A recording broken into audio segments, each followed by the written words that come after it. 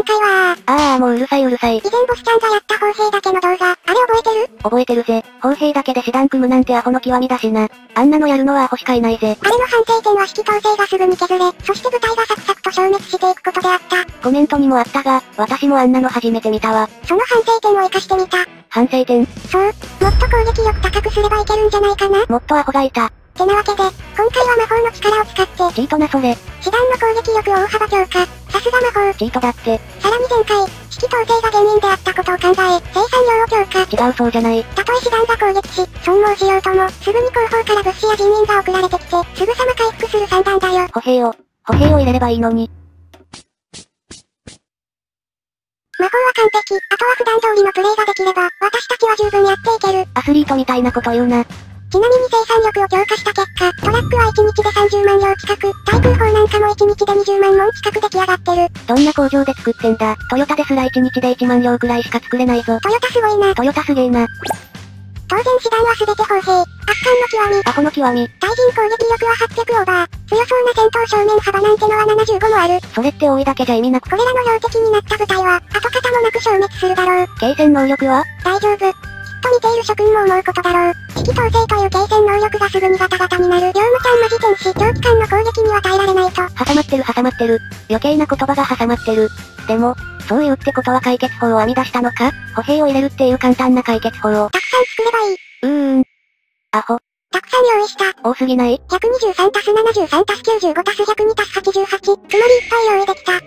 これ頭悪いやつだ。それぞれポーランド方面軍、フランス方面軍、ユーゴスラビア方面軍、なんだ意外と計画的だな。適当にそこら辺軍に分けた。やっぱ頭悪いやつだ。だいたい300。大体で言うなら500です。これらで連合国戦に参るよ。絶対補給切れしそう。それではいよいよ開戦。史実通りポーランドに宣戦布告だよ。さあ我が屈強なる砲兵部隊の的となるのだ。今ポーランドのファンファーレが鳴る。お祝いしてない？さあ砲兵部隊よ。お赤飯を炊いたら出陣だ。お祝いしてるよね日が大安でよかった。お祝いしてるよね確実に。吉日すら選んじゃってるもん。今日のレーションはショートケーキだ。やってんなこれ。しかもホールだ。盛大にやってんな。シャトレーゼじゃなくて藤屋だぞ。ランク上げてきてんもん。何ランクまでもやってんの？クラッカーはこの砲兵だね。全然上手くないから。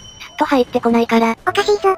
我軍が圧倒的攻勢に出ているのに、全然敵を突破できない。おかしくないぜ。それを普通って呼ぶんだぜ。我軍が誇る圧倒的火力。ポーランド軍はそれに頼る防御力を持ち合わせているというのか。指揮統制がひどいからですよ。なんたる強敵。敵は歩兵を入れない心だぜ。だが面白い。突破してみせよう。この最強の矛で、最強の盾を。その矛ボロボロじゃない？全然突破できません。知ってた。さすが最強の盾。最強ではない。私たちの集中火力に耐えるとは。いやこれを見るんだぜ。圧倒的攻撃力を持っていようが、こんな風に戦線を維持できなくて、攻撃されたらすぐに撤退しちゃうんだ。なん、だと？高い攻撃力を誇るのもいいが、戦線を維持できなければお話にならないぜ。なるほど。我が軍の欠点は理解した。直ちに修正する。やっとまともになったか。魔法の力で。ただのチートだった。これで我が軍の攻撃力はプラス50%された。さすが魔法。まだ言うか。で最強力な攻撃力を底上げしたんだ。これで突破できない敵はいない。なんかすごいことになってる。ゲージが荒れ狂ってるな。何してんのこれ。普通に攻めているだけだよ。ははん。これは左が下右が上を表す。うんつまりこれは血圧。その部隊の血圧を表すんだ。ごめん意味が、ちょっと。現在は戦時中、血圧が荒れ狂っても仕方ないものだね。その解釈は初めて聞いた。おかしい、おかしいぞ。確かにこの企画はおかしい。そうじゃなくて、師団数が明らかに減っているの。指揮統制です。見てよほら、ただ攻撃を仕掛けているだけなのに、なんでこんなことになってしまうの。指揮統制です。かわいそうな彼ら、だけど大丈夫。大丈夫？減ったら増やせばよい。魔王かな？人は勝手に増える。魔王かな？私のためにその身を捧げよ。魔王かな？魔法かな？チートです。ポーランド戦線にばかりかまけていたら、フランス方面軍がだいぶ押されていたよ。危ない危ない、危うく突破。突破されてるがな。こっちもマジの線まで押し上げて、引き続き膠着を目指そう。目標は維持だ。そんなことよりさ。うん連合軍上陸してきてるぜ。わわわやばい。あ、でもこんな時のために用意していたなんかそこら辺軍。彼らが役に立つ時だ。ただの予備兵力だろ。先の先まで見通す。きっと私の視力は0.7だ。謙虚。無駄に謙虚。ふう、危なかった危なかった。フランス方面、姑息な強襲上陸をしてきた敵は撃退した。普通の構成です。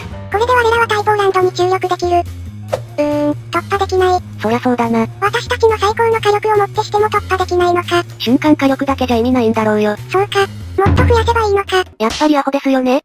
どどうやら私たちの火力は敵を一瞬で変えてしまうようだ。消しゴムに。消し済みであって欲しかった。敵を駆逐し、仲間の亡骸を踏みつけてでも前進。踏みつけすぎなんだよな。その結果ポーランドは降伏。プレデター降伏。降伏にランクとかないから、しかもつけるならブロンズだろうよこれは。でもこれでポーランド方面の軍は浮いたな。そうだね。